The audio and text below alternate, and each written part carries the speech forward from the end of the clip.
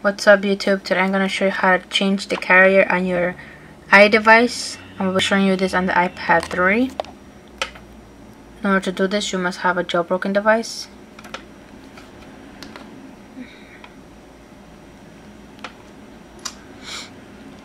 Okay, so um, you must have Cydia. And I am currently running version 5.1.1 and again this will work on any iPod touch, iPhone or iPad. So let's get started. We're gonna go to Cydia.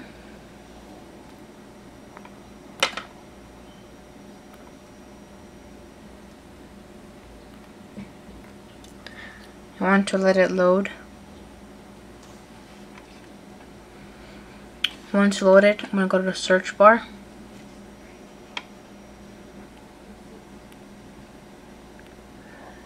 And you're to search in for fake carrier. It's a utility provided by BigBoss.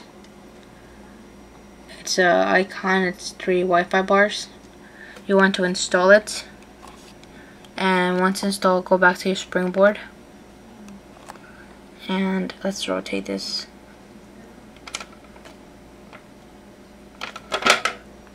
set that up so you could see. Um you go into your um springboard and you're gonna look for this icon right here. Fake carrier. You're gonna launch the app. It's gonna look like this.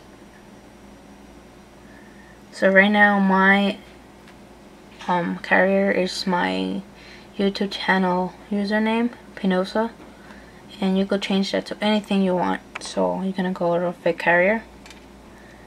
You want to reset that. And you, you can put anything you want. For the video purposes let's put YouTube. You want to hit the set button. You want to get out of the um app and if you look if you look back